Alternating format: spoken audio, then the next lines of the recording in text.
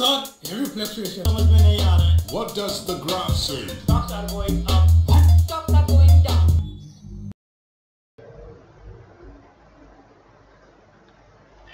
Good morning, friends. Welcome once again to Nifty analysis from TradingFab.in. Today 18 जुलाई 2019 Thursday है सुबह के आठ बजकर चौदह मिनट हो रहे हैं थर्सडे है वीकली एक्सपायरी का दिन है बैंक निफ्टी और निफ्टी इंडेक्स का तो कॉशियस रहिए वाइट ट्रेडिंग कल हमने देखा बाउंस बैक मूव कल भी हमें देखने को मिला। और जो हमने 11,700 के पास एक स्ट्रॉन्ग रेजिस्टेंस लेवल को देखा था वहाँ पर ही एग्जैक्ट इसने रेजिस्टेंस फेस किया?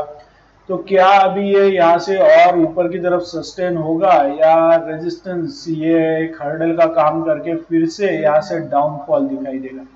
आइडेंटिफाई करेंगे आज के इंट्राडे लेवल्स लेकिन उससे पहले कल के एनालिसिस का एक क्विकली रिव्यू करते हैं। ये एक पिक्चर है कल का यानी 17 जुलाई आफ्टर मार्केट आवर्स ये पिक्चर लिया हुआ है। अगर आपने हमारा कल का वीडियो देखा होगा अगर नहीं देखा है तो ऊपर आए बटन में आपको यहाँ पर उसकी लिंक मिल जाएगी। तो कल के प्लान के अकॉर्डिंग हमारा ब्रेकआउट लेवल बन रहा था 11,671 और ब्रेक लेवल बन रहा था 11,601 तो आप देख सकते हैं ये 10 मिनट का निफ्टी इंडेक्स का चार्ट है। जैसे ये निफ्टी इंडेक्स ओपन हुआ हमारे ब्रेकआउट लेवल के जस्ट नीचे ये ओपन हुआ। और तुरंत इसने 11,685 हमारा फ़र्स्ट टारगेट यहाँ पर अचीव किया और उसके बाद सेकंड टारगेट भी 11,697 ये भी यहाँ पर अचीव किया। और उसके बाद इसके आसपास ये पेनेट्रेट होते रहा इस लेवल के पास और जैसे नीचे आया एग्जैक्ट जो हमारा ब्रेकआउट लेवल था इसके पास इसने एज ए सपोर्ट टेस्ट किया और फिर से एक छोटा सा बाउंस बैक दिखाकर फ़र्स्ट टारगेट के आसपास ये क्लोज हुआ। तो कल के प्लान के अकॉर्डिंग ऑलमोस्ट 22 पॉइंट्स का ट्रेड करने का मौका था और 10 लॉट्स के हिसाब से अगर ट्रेड करते तो अराउंड 16,500 का यहाँ पर प्रॉफिट बन सकता था। तो ये था कल के एनालिसिस का एक क्विकली रिव्यू चलते ग्लोबल मार्केट की हालत देख लेते हैं क्विकली कल अमेरिकी बाज़ार यूएस में डाउ जोन्स और नासडैक लाल निशान में बंद हुए। काफ़ी प्रेशर देखने को मिला। यूरोपियन बाज़ार भी देखे तो लंदन मार्केट, जर्मन मार्केट और फ्रांस मार्केट तीनों भी लाल निशान में बंद हुए। एशियाई मार्केट जब आज ओपन हो चुके हैं तो निक्के 340 पॉइंट की गिरावट दिखा रहा है और हांगकांग मार्केट में 112 पॉइंट की गिरावट देखने को मिल रही है। चाइना मार्केट भी प्रेशर में ट्रेड कर रहा है। डाउ फ्यूचर की बात करें तो 73 पॉइंट की गिरावट दिखाई दे रही है और एस निफ्टी 20 पॉइंट्स के गिरावट के साथ यहाँ पर ट्रेड कर रहा है। तो ओवरऑल ग्लोबल मार्केट से काफ़ी निगेटिव संकेत आ रहे हैं। प्रेशर है उनमें मार्केट दिखाई दे रहे हैं। चलते हैं निफ्टी के वीकली चार्ट में।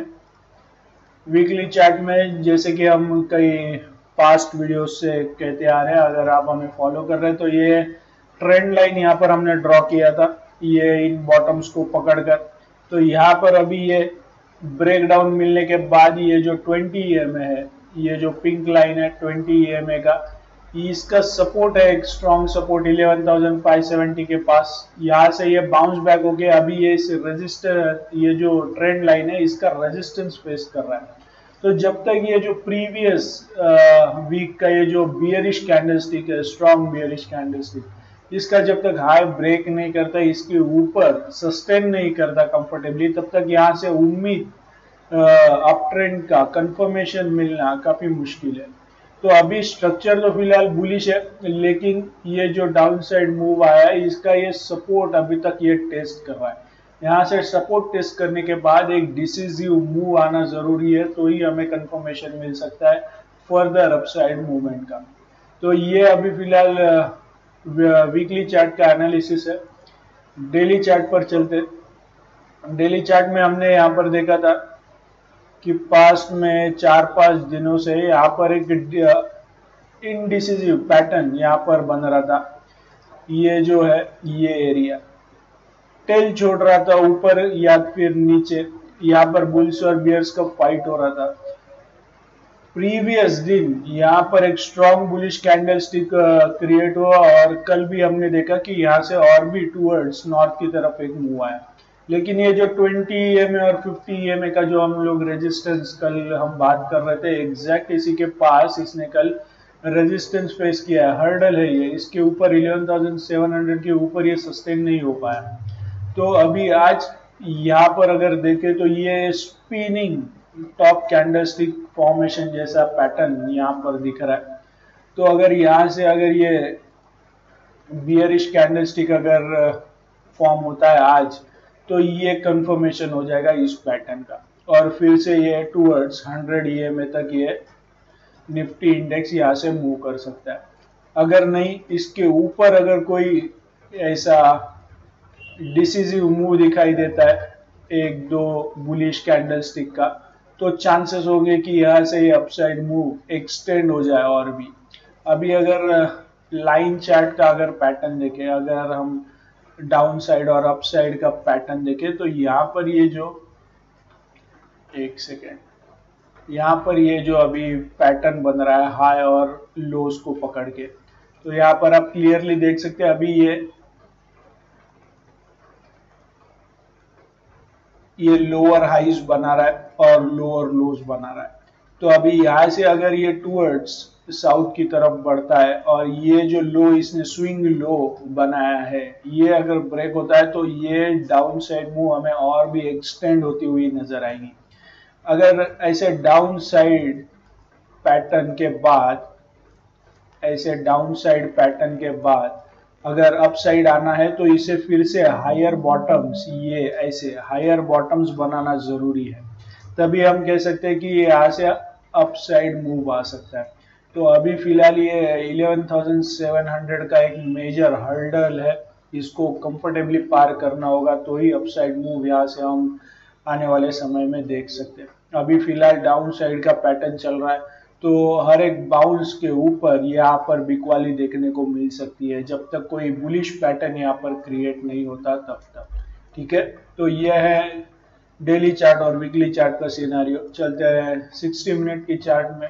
आज के लिए क्विकली इंट्राडे स्ट्रैटेजी बनाते हैं। कल जैसे कि हमने देखा, एक शुरू के आर्स में एक जो अपसाइड मूव आया था, उसके बाद में थोड़ा कंसोलिडेशन हमें देखने को मिला पूरा दिन। और कल का ये जो हाई है 11,706 इसके ऊपर R1 का पिवट पॉइंट का ये लेवल आ रहा है। तो इसके ऊपर अगर ये सस्टेन करता है पाँच या दस मिनट के चार्ट में यानी 11,712 के ऊपर तो ही हम यहाँ पर बाय पोजीशन यहाँ पर क्रिएट कर सकते हैं। और तभी हमारा ये जो फ़र्स्ट टारगेट होगा ये पिवट पॉइंट का आर टू का ये जो लेवल है 11,736 ये हमारा फ़र्स्ट टारगेट होगा। और सेकेंड टारगेट होगा।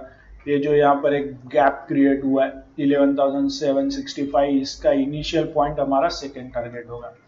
अगर ये टूवर्ड साउथ की तरफ़ बढ़ता है तो कल का लो ये जो कल का लो है ये फ़र्स्ट सपोर्ट का काम कर सकता है। जैसे कि आप देख रहे हैं ग्लोबल सेंटिमेंट्स निगेटिव आ रहे हैं।